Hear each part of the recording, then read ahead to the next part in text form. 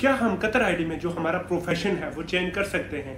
जो मेरे भाई कतर में लेबर हैं, वो ड्राइविंग लाइसेंस हासिल करना चाहते हैं। ये वीडियो उनके लिए निहायत इंपॉर्टेंट साबित होने वाली है।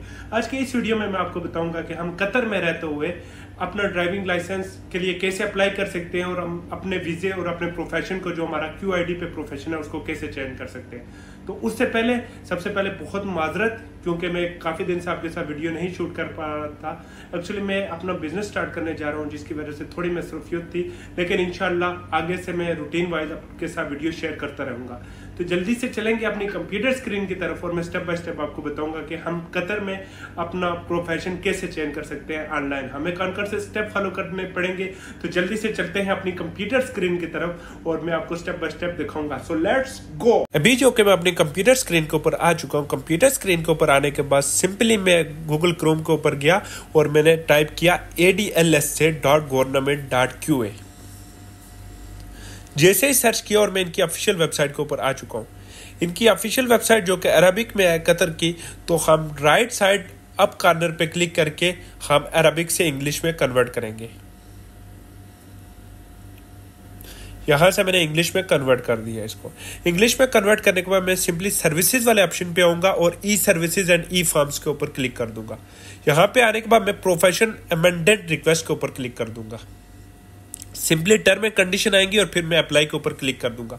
ये चेंज प्रोफेशन रिक्वेस्ट के ऊपर आ गया। इधर एस्टेब्लिशमेंट नंबर ये आपकी कंपनी का नंबर होगा, जिस नंबर पे आपकी कंपनी का लाइसेंस नंबर होगा। ये डालेंगे, फिर आपका जो मंदूब होगा, जिसके नाम पे ये कंपनी होगी, उसकी कतर आईडी और उसका मोबाइल नंबर डालेंगे। मैं डाल देता हूँ और फिर सबमिट के ऊपर हम क्लिक कर देंगे। जैसे सबमिट के ऊपर क्लिक करेंगे, हमें ओटीपी आएगा, जो हमें स्पॉन्सर है, उसका जो मोबाइल नंबर हमने अभी डाला है उसके ऊपर ओ आएगा। वो ओटीपी हम इधर डालेंगे ओ मैं डाल देता हूँ और फिर वैलिडेट के ऊपर क्लिक कर देता हूँ। वैलिडेट के ऊपर क्लिक करने के बाद ये कतर आईडी अब जिसका हम प्रोफेशन चेंज कर रहे हैं, उसकी कतर आईडी में डालता हूँ। और नीचे मैं उसका नाम डाल देता हूँ। फिर उसकी नेशनलिटी डाल देता हूँ। फिर उसकी करंट जॉब और करंट सैलरी जो है उसकी वो मैं डाल देता हूँ। और फिर वर्कर का मोबाइल नंबर डाल देता हूँ। ये वर्कर का मोबाइल नंबर और ये कतर आईडी वर्कर की कतर आईडी है, ये याद रखना।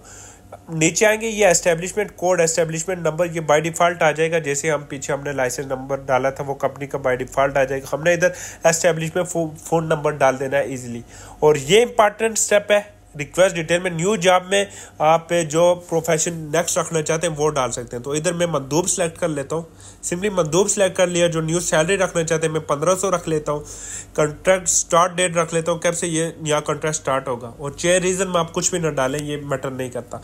लास्ट स्टेप जो नीचे अटैचमेंट है, ये बहुत इंपॉर्टेंट है। इधर मैं म्यूनिसिपलिटी सर्टिफिकेट डालूँगा। जो कंपनी जब रजिस्टर करते हो, उस टाइम आपके जो स्पॉन्सर होगा, उसके पास होता है। सिंपली वो हम इधर डालेंगे। उसके नीचे कमर्शियल रिकॉर्ड में हम अपना लाइसेंस नंबर डाल सकते हैं। मिनिस्ट्री की तरफ़ से जो मिलते हैं वो डाल सकते हैं। फिर सर्टिफिकेट पेपर में जो भी हमारी कंपनी के सर्टिफिकेट हैं, वो डाल सकते हैं। और नीचे जो अदर अटैचमेंट है, उधर हम कतर आईडी डाल सकते हैं अपनी। वो डालने के बाद ऑल ऑफ़ दो स्टेप पहले म्यूनिसपैलिटी सर्टिफिकेट फिर लाइसेंस फिर सर्टिफिकेट पेपर जो आपको कंपनी रजिस्टर करने का टाइम मिलते हैं, वो डाल कर फिर अदर अटैचमेंट में अपनी कतर आईडी डाल सकते हैं। उसके बाद नीचे टर्म एंड कंडीशन के ऊपर हम क्लिक कर देते हैं। और उसके बाद जब गो फॉर सबमिट के ऊपर हम क्लिक कर देते हैं। जैसे ही सबमिट के ऊपर क्लिक करेंगे तो ये हमसे पूछेगा are you sure you want to submit और फिर हम यस करके सबमिट कर देते हैं।